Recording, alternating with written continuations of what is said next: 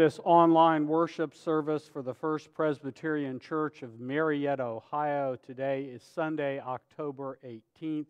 We are very glad for everyone who's able to join us this morning or who happens to be watching this later in its recorded form. The liturgy and hymn information are on our website in the bulletin section.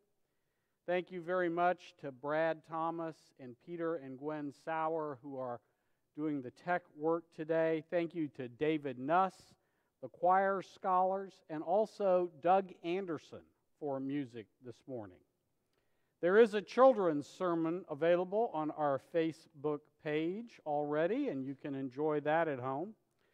We will have an outdoor worship service this afternoon at 5 p.m. in the garden Please take note of the time. We moved an hour earlier to catch a little more sunshine and warmer temperatures. We invite you to bring your lawn chairs and please wear a mask. We will have a few chairs for folks who don't have their own chair. Let us worship the Lord.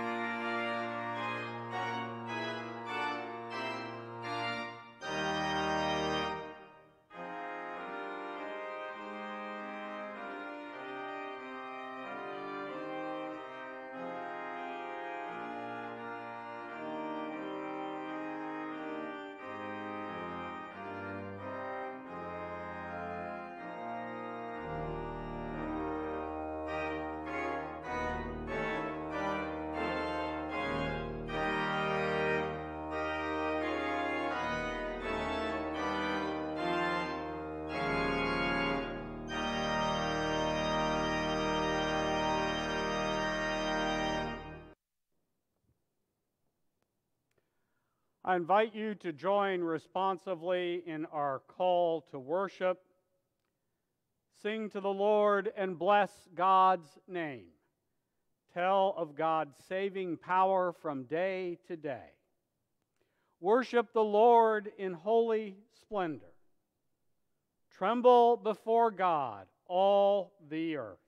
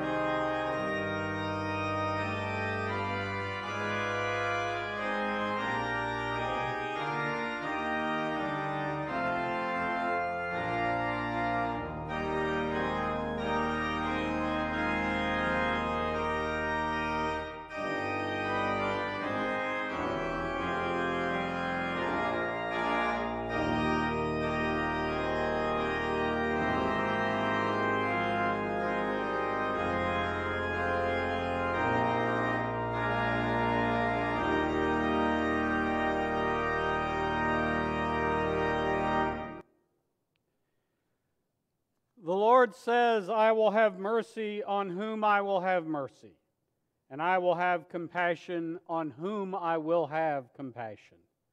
Let us now confess our sin, casting ourselves on the promised mercy and compassion of God. Let us pray together. What a debt we owe to you, O God. You have given us all things in Christ, and yet we withhold from you the honor and glory that are yours. Instead, we pay tribute to empire, plot to entrap the innocent, mock your truth with empty praise, and put your patience to the test. Here are personal confessions in this moment of silence.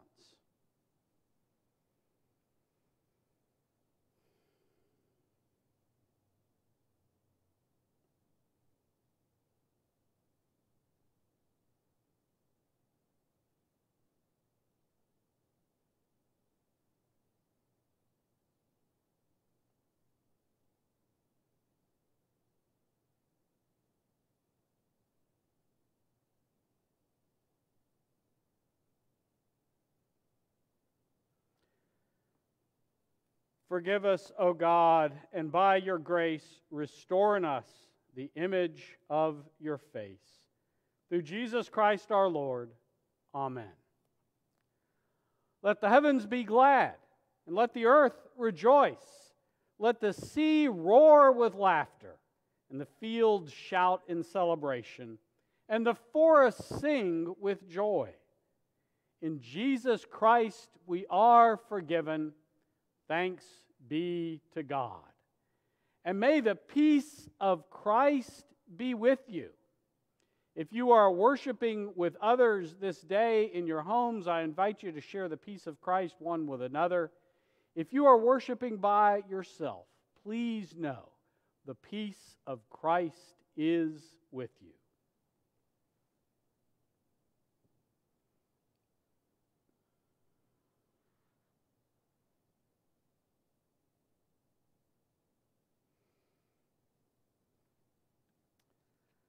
Let us turn our hearts again to God in prayer.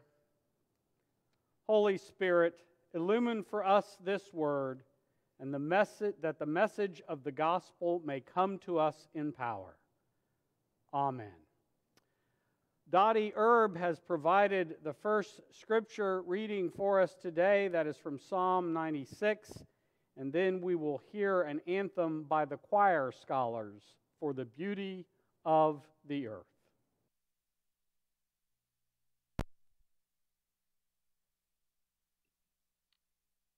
Our first reading this morning is Psalm 96, verses 1 through 13. Oh, sing to the Lord a new song. Sing to the Lord, all the earth.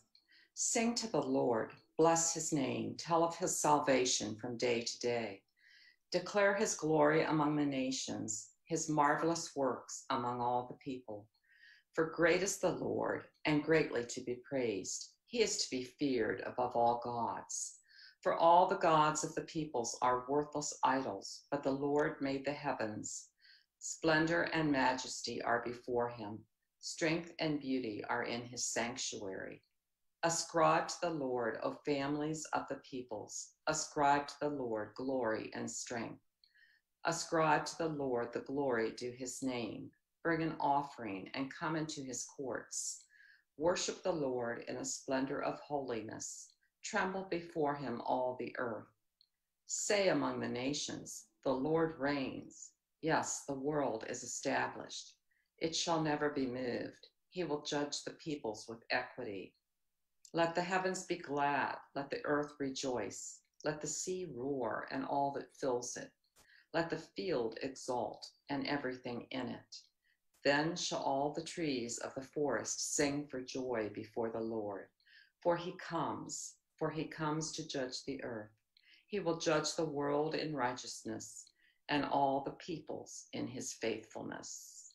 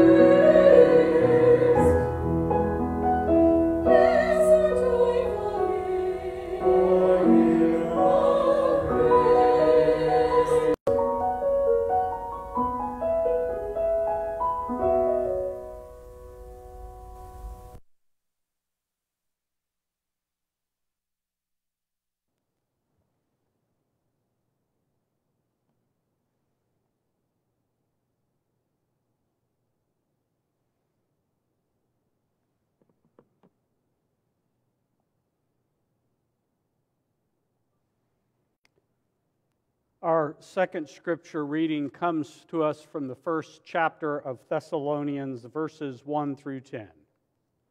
This is from 1 Thessalonians. Paul, Silvanus, and Timothy, to the church of the Thessalonians in God the Father and the Lord Jesus Christ. Grace to you and peace.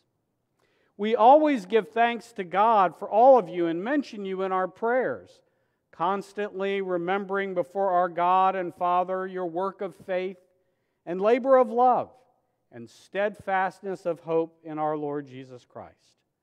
For we know, brothers and sisters, beloved by God, that He has chosen you, because our message of the gospel came to you not in word only, but also in power and in the Holy Spirit, and with full conviction just as you know what kind of persons we prove to be among you for your sake. And you became imitators of us and of the Lord. For in spite of persecution, you received the word with joy, inspired by the Holy Spirit, so that you became an example to all believers in Macedonia and Achaia. For the word of the Lord has sounded forth from you not only in Macedonia and Achaia, but in every place your faith in God has become known, so that we have no need to speak about it. For the people of those regions report about us what kind of welcome we had among you, and how you turned to God from idols to serve a living and true God and to wait for his Son from heaven, whom he raised from the dead, Jesus, who rescues us from the wrath that is coming. This is the word of the Lord. Thanks be to God. Despite persecutions, the believers of Thessalonica became shining examples to believers in the entire southern portion of the Greek peninsula and even beyond. The homeland of the ancient conqueror Alexander the Great, whose life so dramatically changed the ancient Mediterranean world, became one of the seedbeds for a new culture of grace that would transform the entire world. Paul describes their faithfulness as a work of faith a labor of love, and a steadfastness of hope. These are the character virtues we all know from Corinthians. Here, Paul links them to discipleship lived out in the day to day. Work of faith. We Protestants could pause there and let Paul challenge our facile recitations of creeds as somehow being enough. Steadfastness of hope. How many of us, after six months of COVID and enduring the toxic political environment, are just ready to despair? And yet, we're reading these words of hope and inspiration written by a man who suffered imprisonment and beatings and hunger and cold and so much more. But let us focus today on labor of love. The dictionaries define the labor of love as work performed without any expectation of compensation, done for the benefit of another. That's a start, but it falls short of the deeper meaning this has in the Greek. The word for labor in the Greek carries with it the understanding that a person is working to exhaustion. The one doing the labor of love is working until they're ready to drop.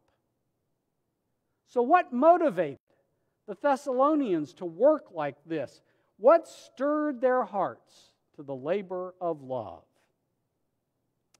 Well, the most important reason is the Thessalonians encountered the gospel. Their behavior is an imitation of the powerful image we encounter in Philippians of Christ, the second person of the Trinity who practiced self emptying love by shedding power and glory to serve humanity. They heard this message that Christ gave his life for the sake of humanity and for the sake of each of them, and their hearts were filled with gratitude. The Holy Spirit poured joy and thanksgiving into their lives. And the freedom they discovered, unburdened by their guilt and their anxiety and their sin, unleashed energy to help others so that those others could experience that same release. Connected to this was their turning from idols. Idols, whether they are the small golden and silver figures of the ancient world or the modern temptations of consumerism and escapism, have much in common. Both demand time and treasure from the worshiper. Both pull worshipers away from people in their lives. Both divert attention from suffering of others. When the Thessalonians gave up their idols, they had time and treasure for the work of bringing God's reign into the world.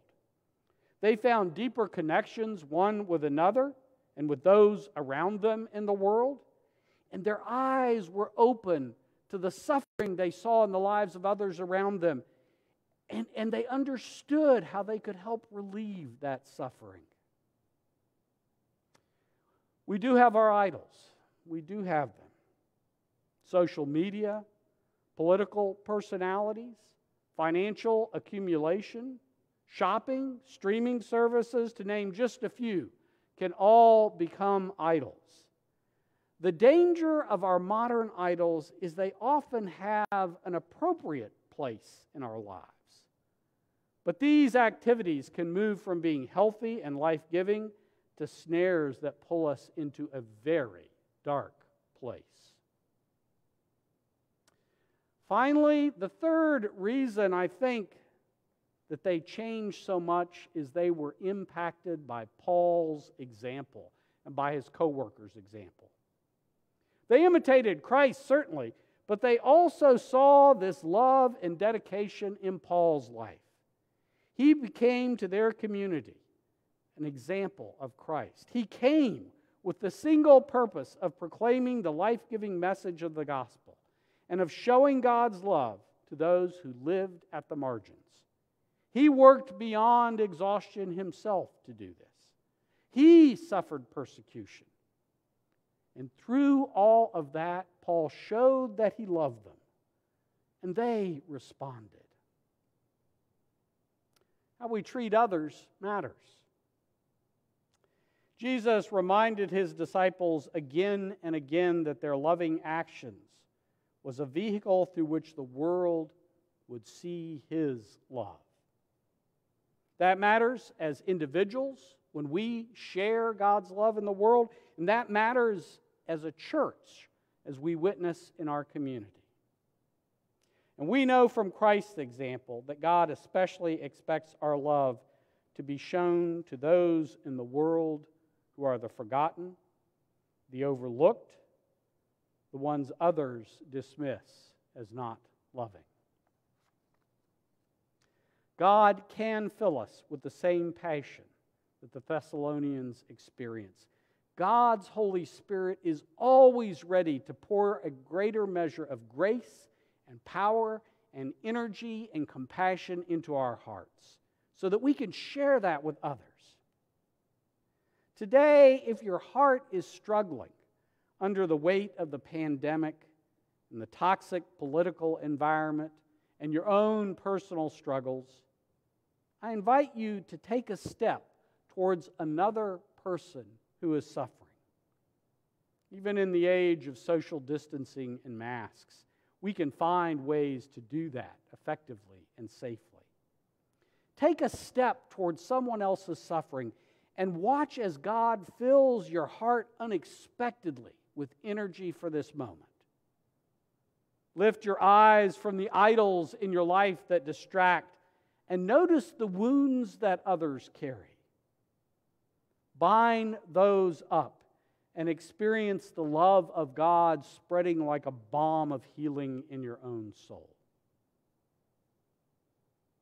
God is ready to energize us to fill us with that same passion the Thessalonians experienced.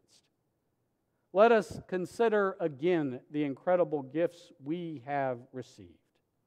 Let us turn from our idols and experience the freedom that that brings. Let us behold in one another's lives the wonderful examples of laboring in love, even to exhaustion for one another. Let us take new steps to serve others and find as we do so that God has blessed us with more energy than we ever imagined. Let us join in those labors of love that will make the world praise God's presence among us. Amen.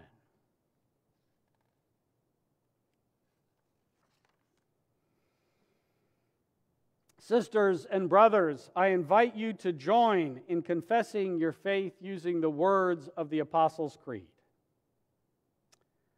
I believe in God the Father Almighty, creator of heaven and earth. I believe in Jesus Christ, God's only Son, our Lord, who was conceived by the Holy Spirit, born of the Virgin Mary, suffered under Pontius Pilate was crucified, died, and was buried. He descended to the dead. On the third day, he rose again. He ascended into heaven. He is seated at the right hand of the Father, and he will come again to judge the living and the dead. I believe in the Holy Spirit, the Holy Catholic Church, the communion of saints, the forgiveness of sins, the resurrection of the body, and the life everlasting. Amen.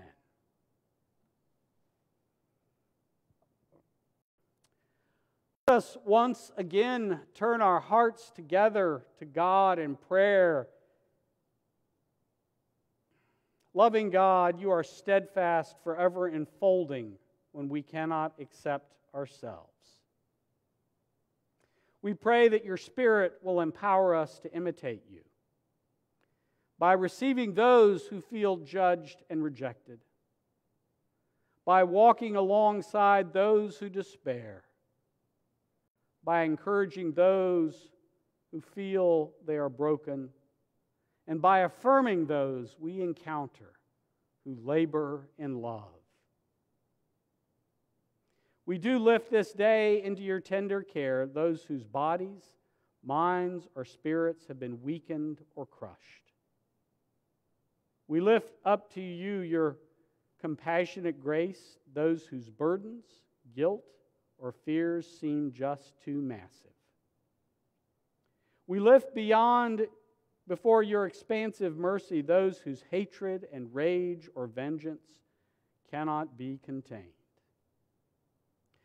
And Lord, we come to you in honest pleas, crying out, lamenting we all are tired of the situation we're in.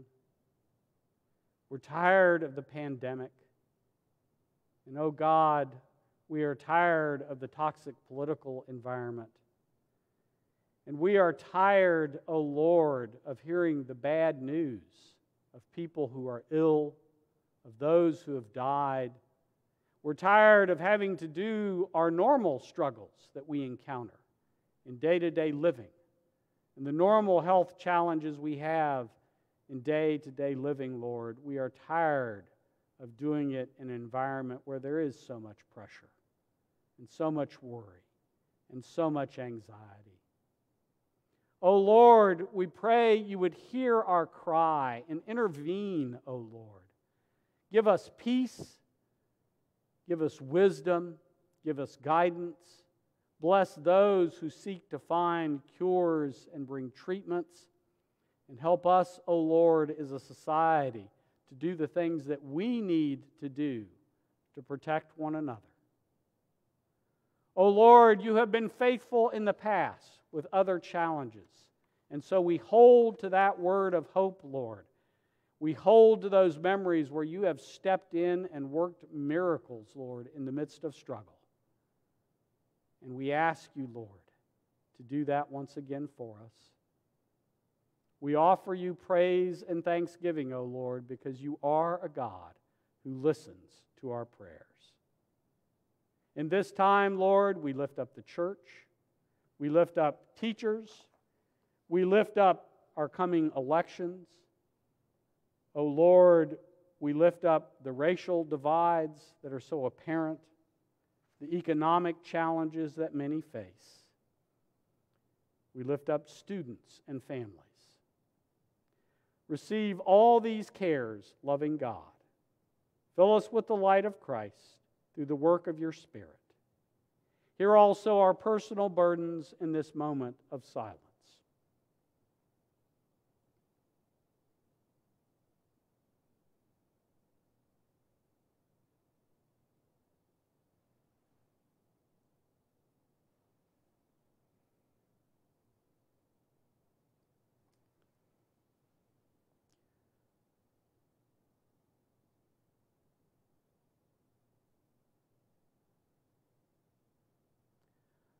All these things we pray in the name of Jesus, and we use the words he taught us Our Father, who art in heaven, hallowed be thy name. Thy kingdom come, thy will be done on earth as it is in heaven. Give us this day our daily bread, and forgive us our debts as we forgive our debtors. And lead us not into temptation, but deliver us from evil. For thine is the kingdom, and the power, and the glory forever. Amen. You'll find information on the liturgy page and on our website about how you can give online. Of course, you can continue to mail your offerings to the church. We do so much appreciate all those who've been able to remain faithful in their giving during this time. Jesus invites us to render to God the things that are God's. Trusting in God's infinite grace, we gratefully present our offerings.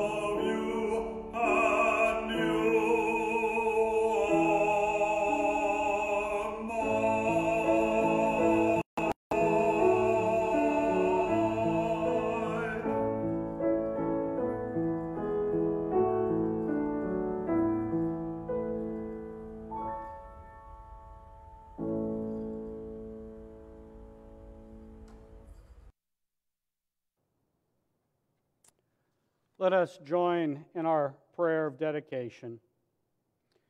We trust you, Lord God, to multiply the blessings that gifts represent. As we pour out your love and grace on those who long to hear your words to them, to see your power at work within them, to feel your comfort beside them, through the generous gifts of your Spirit. Amen.